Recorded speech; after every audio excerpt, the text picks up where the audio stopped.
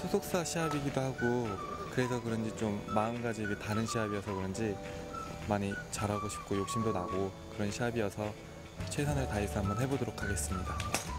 의류 소속인 이수민 프로 같은 경우는 뭐 친한 동생이기도 하고 같은 의류 소속이기도 하고 올해 감도 좋기 때문에 같이 치면은 힘들기도 하고 재밌기도 하고 그럴 것 같아요. 남들보다는 좀 더 차분함 이 좀 더 좋다고 해야 되나? 그래서 아무튼 매치 플레이 같은 경우는 정말로 어떻게 보면 1대1 싸움이기 때문에 조금 더 신경전이라고 보거든요, 저는. 그런 면에 있어서는 조금 더 유리할 수도 있지 않을까 네, 그런 생각이 좀 들어요. 그 스트로크 플레이는 100몇 명을 이겨야 되잖아요. 근데 매치 플레이는 6명 이기면 우승이거든요. 그렇기 때문에 가장 우승할 수 있는 확률도 높고 재미도 있고 그래서 욕심이 많이 나요. 네.